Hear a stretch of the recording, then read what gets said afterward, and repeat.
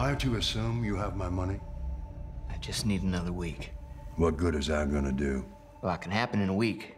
Not for a guy like you. You shouldn't have taken the bet, Max. The man don't play unless he know he's gonna win. I know, I know, all right? I got it. Counselor, this man is a career criminal with a history of violence. Your Honor, he's my brother. He wants to make a clean start, and I'm asking that you give him that chance. I can't do this anymore. Do what? Save you! Then stop. Travis came looking for you. And what did you say? It's you playing hooky? It's Isobel!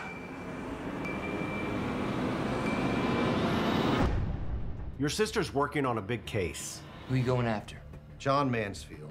You bring my sister into this? It's her job. She's working with the witness. There are certain people who will be very happy if I disappear. If the man does have Isobel and you testify, they're gonna kill her and then you. Is that what you want? So what, I just trust you? Got any other options? This is just one big misunderstanding, boys. This ain't about the money no more. So now where's Nola Barnes?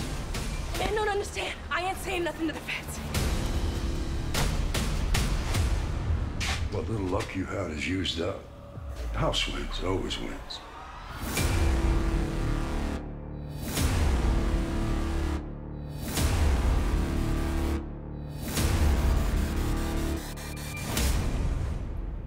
I'm gonna kill him. The guy that did it.